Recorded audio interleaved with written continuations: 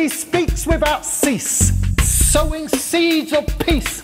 But I knew no peace. Life just seemed so unjust. I mean, where is the love? But this little man seemed connected to a deeper knowing, showing me the trees that were already growing from the seeds I was unknowingly sowing. Cause you can do what you want and act as you please, but no matter where you're there, you'll still be sowing seeds.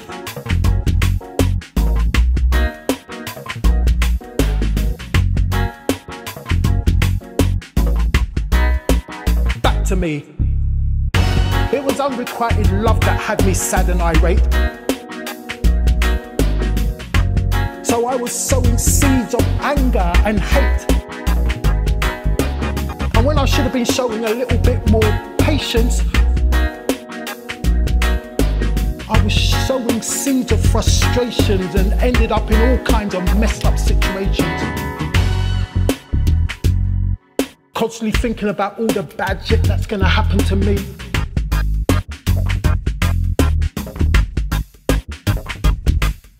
And so I sowed seeds with a self fulfilling prophecy.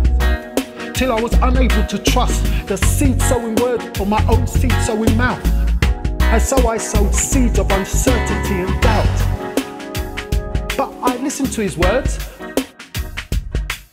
and I became more self aware.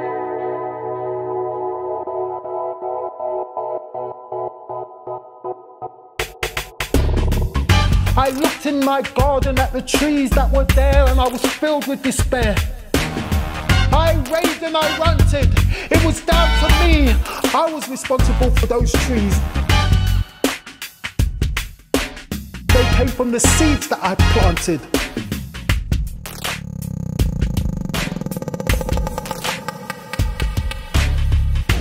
Still, it's never too late to do what you always should have done. And it's never too late to be what you always should have become. Not as long as the morning comes with the rise of the sun. So, if you've got a messed up forest of trees like me, now is the time to act. But you won't need an axe. No need to cut those trees like a lumberjack. Just plant no more of those trees that have got you messed up. Don't water them, don't feed them, let them wither and rot. Plant the seeds you want to sow. Seeds of understanding, joy, kindness, and peace. All those other troubling trees will have to settle and cease. At first, it's going to be slow, but steady as she goes, pretty soon, those seeds are going to grow. And to give your seeds a little bit more clout, water them every day with the benefit of the doubt. If you've got any doubting to do, then doubt that any bad shit's gonna happen to you. That's how you make a self fulfilling prophecy work for you.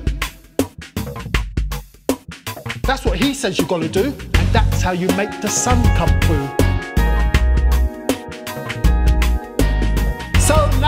As I walk through my orchard, life is nowhere near as awkward.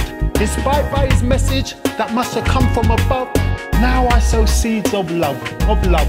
Now I sow seeds of love, love, love,